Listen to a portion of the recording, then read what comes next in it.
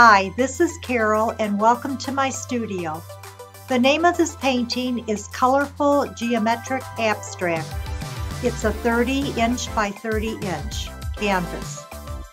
I started off painting on the canvas with a very thick coat of acrylic gel and then I took the wrapper from the canvas and I crunched it up and matted it down on the wet glaze, pulled it up and let it dry overnight before I started my drawing. And here you'll see me applying with a black felt marker my geometric lines that I'm putting on the canvas. I really don't have a particular design in mind, but I do want to have a bunch of triangles. My style of painting is using many layers of various colors of the paint.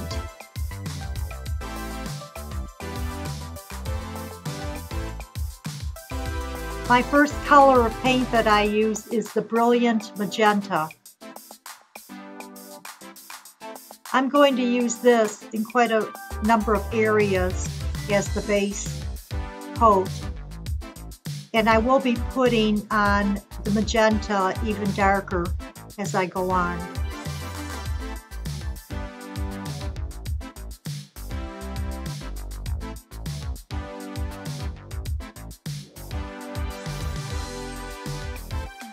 Okay, I've got some titanium white going over the magenta. And here I'm applying a little bit darker version of the paint. I did put some yellow here and there for the background, but I will be going over that with other layers of different paints.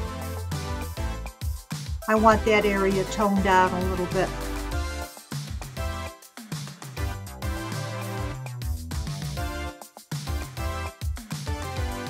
And as you can see in this painting, I start using the palette knife fairly early in my application of the paint. That's burnt sienna going in.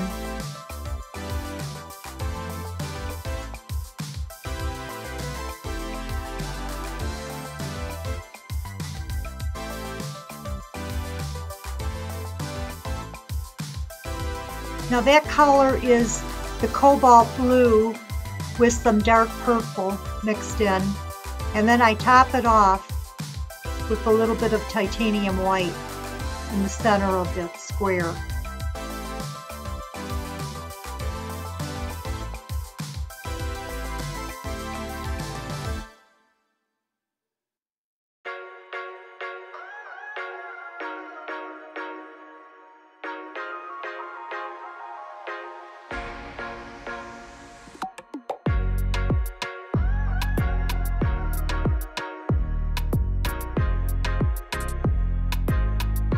I want to add in a few more designs to this painting to make it a little bit more interesting.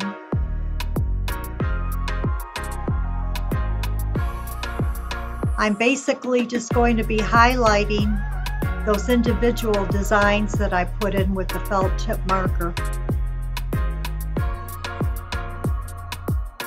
And always when I'm painting, I am thinking of my color harmony, the balance of the colors.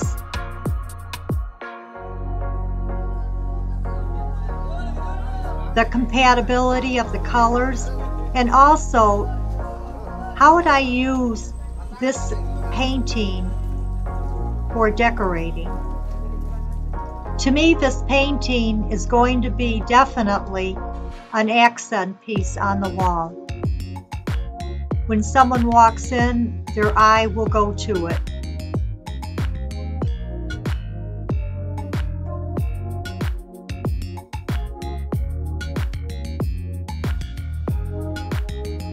Also notice that I use the titanium white with the palette knife. And I do tone down a lot of the color.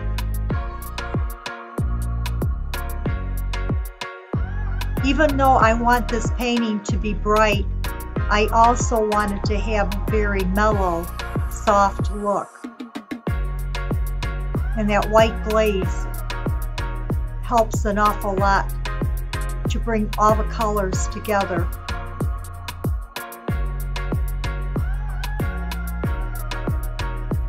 And at the same time, I'm going to use the palette knife for the majority of the other colors that I'll be putting on this canvas.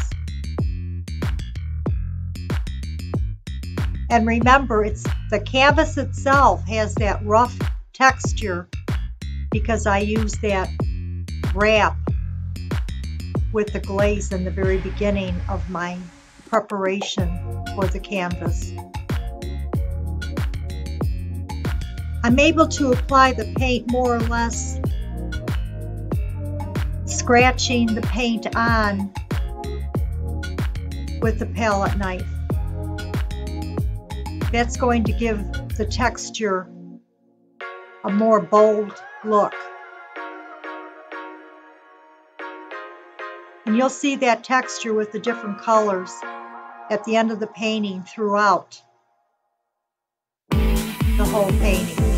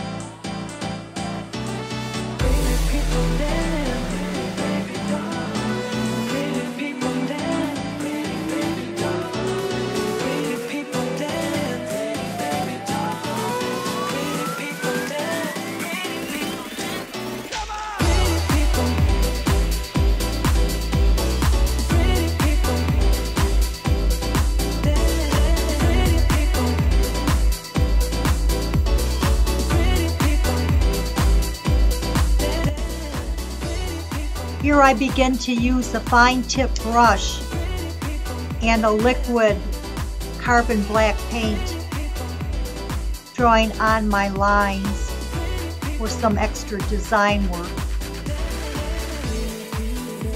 I'm basically trying to apply these lines in a balance here and there on the canvas.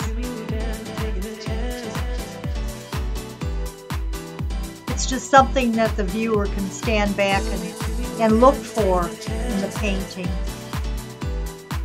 This is a photo of the painting in daylight. And the next one will be a photo of the painting on the wall under spotlight. Thank you so much again for being here watching me paint. Please subscribe, hit that button at the end of this video, and now you're looking at close-ups of the painting.